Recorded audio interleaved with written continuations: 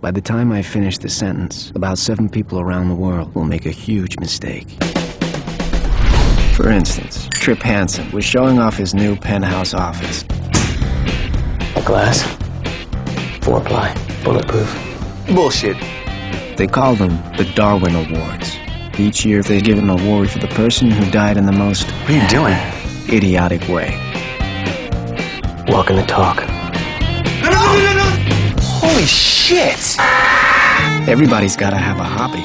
For me, it was the Darwin Awards. I'm going to pair you with a claims investigator, and she specializes in um, unusual cases. I'd say it was actually more of an obsession. Call to papi. I just couldn't help trying to imagine what type of person it would take to meet such strange fates. He's fetching! Drop it! Max! Drop it! No, Max!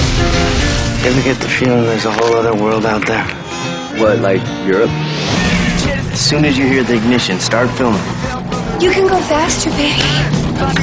Oh, as fast as you can. Come on.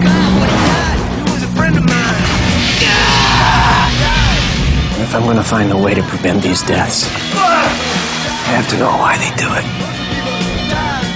You are so obsessed with these Darwin cases that you are actually becoming one.